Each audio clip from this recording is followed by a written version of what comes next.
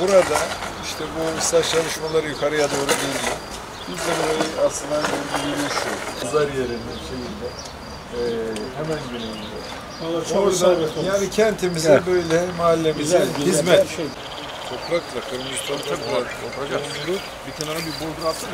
Böyle bordur çektim böyle. Şimdi de Ondan sonra etrafına bir yürüyüş olur. Yürüyüş yaparız. süper olur abi.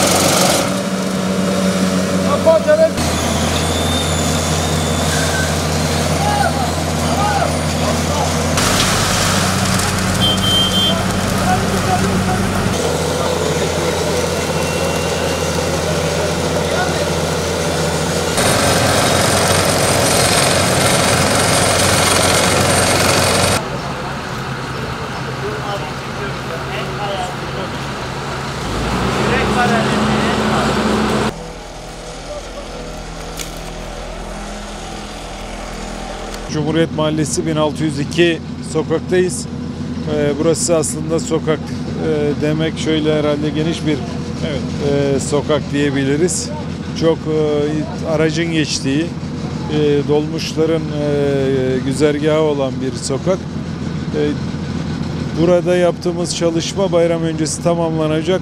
Şimdi o asfaltı yenileme çalışmasını gerçekleştiriyoruz. Ve kaldırımlar zaten yapılmıştı. Hemen kaldırımların e, yan tarafında, dere kenarına da bir yürüyüş yolu planlıyoruz. E, 1602 1610. ve 1610 sokaklar e, mahallemizde asfalt yenileme çalışması yapılacak. E, 1610 sokakta hemen bayram sonrası bayramda insanların hani bir inşaat ortamı görmemesi için bayram sonrasında orayı tamamlamış olacağız. E, kentimize hizmetimizi sürdürüyoruz. Nerede ne eksik varsa vatandaşlarımız e, Yenişehir Halk Masası'na bildirebilirler. Herhangi birini aramalarına gerek yok.